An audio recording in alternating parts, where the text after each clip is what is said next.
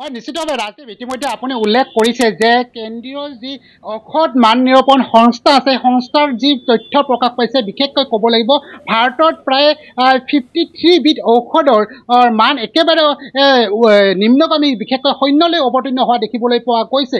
আৰু এই মুহূৰ্তত এটা কথা উল্লেখ কৰিব লাগিব জীৱনদায়ী ঔষধ যি ঔষধ সেই ঔষধ কিন্তু প্ৰতিদিনে ব্যৱহাৰিত হয়। বিশেষকৈ আপুনি ইতিমধ্যে উল্লেখ কৰিছে পাণডিকে আদি কৰি যি উক্ত ৰক্তচাপৰ পৰা মধুমেহ ৰোগ যি আছে সেই ৰোগৰ ঔষধৰ প্ৰতিদিনাখনে প্ৰয়োজন হয় ৰোগীক। কিন্তু সেই মুহূৰ্তত এই যিহেতু ঔষধৰ যি মান সেই মান নিম্নগামী হৈছে। আৰু মই এই মুহূৰ্তত যোগীপাৰ চৰণতাপাৰাৰ এখন ফাৰ্মাচীত উপস্থিত আছোঁ আৰু দেখিবলৈ পোৱা গৈছে যিগৰাকী লোক আহিছে এই মুহূৰ্তত ৰাতিপুৱা সেই ৰাতিপুৱা ঔষধ ল'ব অহা গ্ৰাহক বৈকেইটা পাণদিৰ ঔষধে ল'ব আহিছে। এখন যি ঔষধৰ দোকানত এই মুহূৰ্তত মই উপস্থিত আছোঁ ইয়াতে পাণদি ক্ৰয় কৰিবলৈ আহিছে। মই প্ৰথমতে মই যিহেতু যিহেতু ফাৰ্মাচিষ্টগৰাকী আছে মই আপোনাৰ পৰা জানিব বিচাৰিছোঁ। বিশেষকৈ আপোনাৰ ঔষধ প্ৰতিষ্ঠানত ব্যৱহাৰ প্ৰতিদিনে এখন ক্ৰয় কৰি ক্ৰয় কৰিবলৈ অহা গ্ৰাহকৰ সংখ্যা বেছিভাগ কি আছে?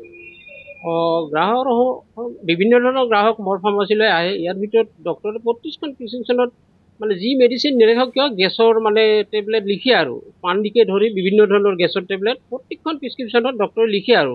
কাৰণ কিবা মেডিচিন খালে গেছটো বাঢ়ি যাব বুলি তেনেকৈ গেছৰ মেডিচিনকে ধৰি পেৰাচিটামল জ্বৰৰ মেডিচিনো বিক্ৰী হয় লিখে। তাৰপিছত বিশেষকৈ মানে চুগাৰৰ ঔষধ প্ৰায়ভাগ মানুহে আজিকালি চুগাৰ দেখা যায়। গতিকে প্ৰায়ভাগ মানুহে চুগাৰৰ ঔষধ লয় আৰু। প্ৰায় ডেইলি আন এগৰাকী যিহেতু গ্ৰাহক আছে মই আপোনাৰ পৰা জানিব বিচাৰিছোঁ আপুনি যিহেতু ৰোগী পাণ দি ল'ব আহিছে আৰু বিশেষকৈ আপুনি ইতিমধ্যে অৱগত হৈছে যে যোৱাকালি দিনটোত বিশেষকৈ যি তথ্য প্ৰকাশ পাইছে সেই তথ্যটো ভয়াৱহ তথ্য। কি ক'ব আপুনি? চাওক এতিয়া মই আহিছোঁ পাণ দি কিনিবলৈ আহিছোঁ। পেৰাচিটামল লগা হৈছে। আহি এইটো কোনটো বিশ্বাসতে মেডিচিনটো মই ঘৰত ল'ম এতিয়া? মেডিচিন কিয় লয় মানুহে? বেমাৰ হোৱাৰ কাৰণে মেডিচিন লয়। এই এই মেডিচিনটো খালে মোৰ বেমাৰ ভাল হ'ব নে বৃদ্ধি হ'ব এইটো কোনে জানে?